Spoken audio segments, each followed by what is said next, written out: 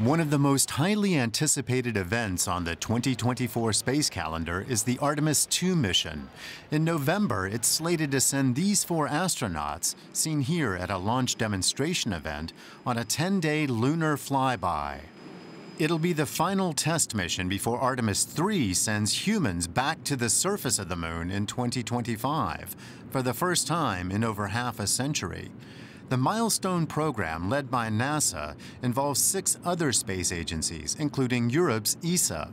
It's also a stepping stone to bigger things. There is uh, certainly a good reason on one side, of course, technology has advanced uh, and we are exploring again uh, the universe. That means we, uh, we send astronauts uh, outside our uh, space station, our low Earth orbit. Um, and the moon is the obvious next stop on the way to Mars. India's successful Chandrayaan mission to the moon's south pole was just the first to an area where water has been detected. NASA's soil sample prospector Viper will head there next.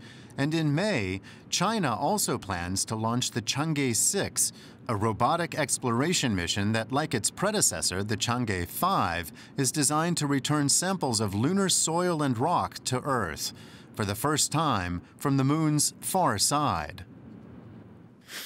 Visits to other moons in the solar system, like one that circles Mars, are also on the agenda in 2024. In September, Japan's space agency JAXA is heading to Phobos with a mission that'll seek to collect a few grams of material from the red planet's larger moon.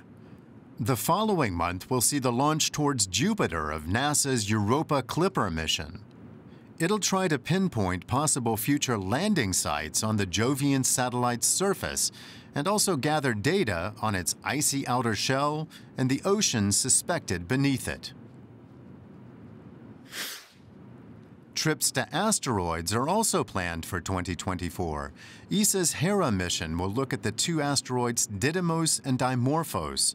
Back in 2022, NASA's DART spacecraft intentionally slammed into Dimorphos. That was a feasibility study into whether it's possible to deflect the course of near Earth objects. With the aid of two helper satellites, Hera will examine the asteroid and nearby space in the aftermath of the DART collision.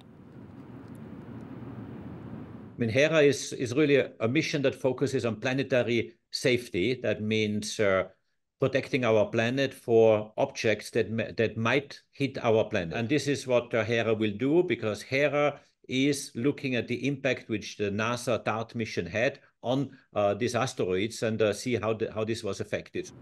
The moon looms large for every spacefaring nation in 2024, but it's just one destination in one of the most exciting years ever for space exploration.